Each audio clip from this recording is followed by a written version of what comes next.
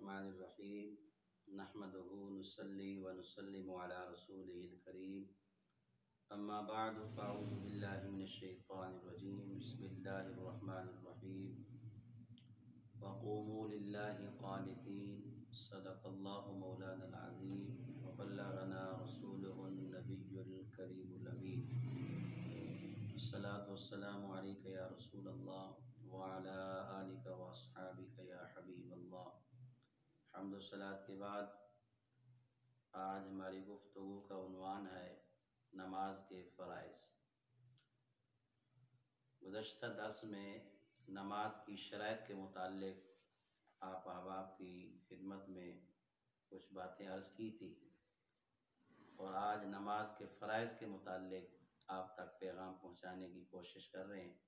और ये दोनों चीज़ें नमाज़ की दुरुस्त होने के लिए नमाज़ के सही होने के लिए ज़रूरी हैं।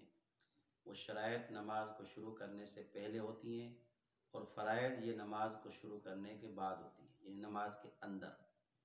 नमाज़ की छः शरात आपके सामने पेश की थी और आज के दर्स में नमाज़ के फ़राइज़ नमाज़ के फ़राइज़ हैं सात और नमाज़ की शरात हैं छः और इन दोनों के मजमू को कहते हैं अरकान नमाज़ इस बात को आप जहन में रखिएगा। नमाज़ की शरात अलग हैं, नमाज़ के फ़रज़ अलग हैं और इन दोनों के मजमू को कहते हैं अरकान फ़रज़ अरकान नमाज़, अरकान सलात, अरकान नमाज़। तो इन छः और सात, तेरह चीज़ों का जानना ज़रूरी है। इन में से कोई एक चीज़ भी रह गई तो नमाज़ नहीं होगी। तो इसलिए इन तमाम चीज़ों को हम इन तफसील से आपके सामने फिर पेश करेंगे। आज हमारी गुफ्तु है नमाज़ के फ़रज़ अल्फाज को याद रखना, नमाज़ के सात फ़रज़ हैं। नंबर एक, सबसे पहले तकबीर तहरीमा कहते हुए अल्लाह अकबर कहना। यानी हाथों को उठाते हुए, जिस तरह हम हाथ उठाते हैं, जैसे कानों की तरफ़ लेकर, अल्लाह अकबर, ये फ़र्ज़ है। ये हर नमाज़ के शुरू के अंदर कहना फ़र्ज़ है। वो नमाज़ फ़र्ज़ हो, नमाज़ वाजिब हो, नमाज़ सुन्नत हो, नफिल हो इस तरह तकबीर तहरीमा कहकर नमाज़ के अंदर दाखिल होना ये नमाज़ के फ़रज़ में शामिल है। तो नमाज़ के फ़रज़ में सबसे पहले नंबर पर तकबीर तहरीमा यानी अल्लाह अकबर कहकर नमाज़ को शुरू करना। दूसरे नंबर पर है क़याम, यानी खड़े होकर। बग़ैर किसी शरी उज़र के, उज़र भी नहीं है और जानबूझ कर अगर कोई आदमी बैठ कर पढ़ेगा नमाज़, नफिल के अलावा फ़राइज़ हों वाजिबात हों सुन्नत मक्द हों अगर जान बूझ के बैठ के पढ़ेगा तो नमाज़ नहीं होगी, क्योंकि क़याम फ़र्ज़ है।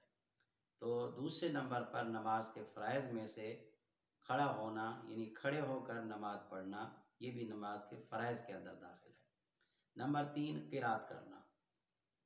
सूरह फातिहा के साथ जो सूरत मिलाते हैं, कोई छोटी सी सूरत हो या तीन आयात हो उसको पढ़ना ये नमाज़ के फ़राइज़ के अंदर शामिल है। अगर किसी ने जानबूझकर कोई आयत छोड़ दी तो अगर सजदा साफ़ करेगा तो नमाज़ हो जाएगी, और अगर सजदा साहब भी नहीं किया तो उसकी नमाज़ नहीं होगी। इसके तफसीली मसाइल इन अगले दर्स में आप तक पहुँचेंगे। तो नमाज़ के फ़राइज़ के अंदर तीसरे नंबर पर है किरात। यानी सूरह फातिहा के साथ जो हम सूरत मिलाते हैं, उसको किरात कहते हैं। और फातिहा का पढ़ना ये वाजिबात में आता है, वाजिब है। जब हम नमाज़ के वाजिबात आपके सामने पेश करेंगे तो नमाज़ के वाजिबात को जब शुरू करेंगे तो फातिहा को वहाँ ज़िक्र करेंगे। लेकिन अब चूँकि नमाज़ के फ़राइज़ हैं तो नमाज़ के फ़रज़ में तीसरे नंबर पर है किरात। और किरात कहते हैं सूरह फातिहा के साथ जो भी सूरत मिलाते हैं, जिससे अक्सर अहबाब सूरह अखलास पढ़ते हैं। जिसको नहीं आती तो बिला खरात उसकी नमाज़ हो जाएगी। हाँ सीखता रहे वो। और छोटी छोटी सूरतें सीख ले, ताकि हर रकात के अंदर एक नई सूरत पढ़ ले। जैसे अलग सूरह फील से लेकर आखिर तक ये दस सूरतें जो है, हर बंदे को याद करनी चाहिए। तो ये दस सूरतें हो जाएँगी तो कम अज़ कम हर रकात में अलग अलग सूरत पढ़ लेगा। वरना अगर नहीं आती, सिर्फ़ सूरह अखलास आती है, सूरह कौसर आती है तो हर रकात के अंदर पढ़ता रहेगा, उसकी नमाज़ हो जाएगी। तो पता ये चला कि सूरह फातिहा के साथ छोटी सी सूरत का मिलाना या किरात करना ये नमाज़ के फ़राइज़ में दाखिल है। नंबर चार, रुकू करना। यानी किरात सूरत मिलाने के बाद जब आदमी रुकू में जाता है तो खाली झुकना जो है, ये फ़र्ज़ है।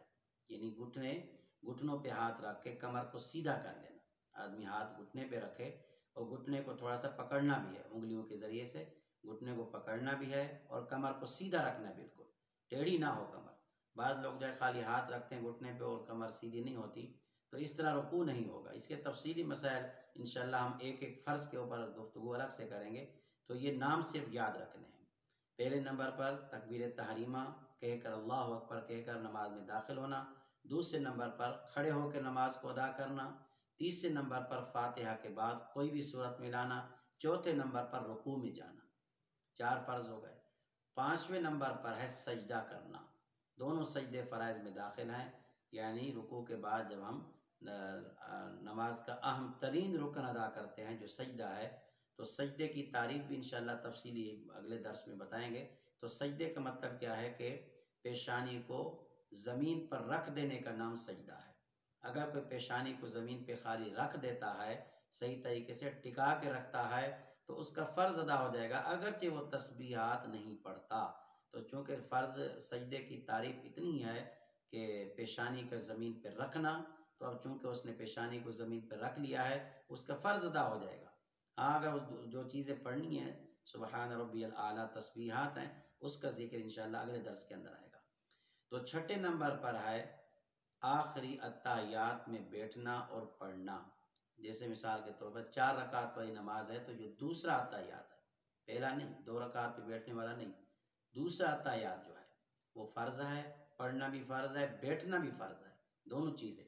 अगर किसी ने जानबूझ के बैठना छोड़ दिया, जब भी उसकी नमाज़ नहीं होगी, अगर जानबूझ के उसने अत्तायात पढ़ना छोड़ दिया, बैठा तो है, पढ़ा नहीं उसने, जब भी उसकी नमाज़ नहीं होगी, क्योंकि दोनों फ़र्ज़ हैं। तो छठा फ़र्ज़ नमाज़ के फ़रज़ में से अत्तायात है, आखिरी अत्तायात। और सबसे आखिरी, सातवें नंबर पर जो नमाज़ का आखिरी फ़र्ज़ है, वो है दोनों तरफ़ सलाम फेर के नमाज़ से बाहर आ जाना। यानी रहमतुल्लाह अस्सलाम वालेकुम रहमतुल्लाह तो ये नमाज़ के सात फ़रज़ हैं। तकबीर तहरीम अल्लाह अकबर के कर नमाज़ शुरू करना, खड़े होकर नमाज़ को अदा करना और सूरह फातिह के बाद सूरत मिलाना या तीन आयात का पढ़ना, रुकू करना, सजदे करना, आखिरी अत्तायात में बैठना और पढ़ना और दोनों तरफ़ सलाम फेर के नमाज़ से बाहर आ जाना।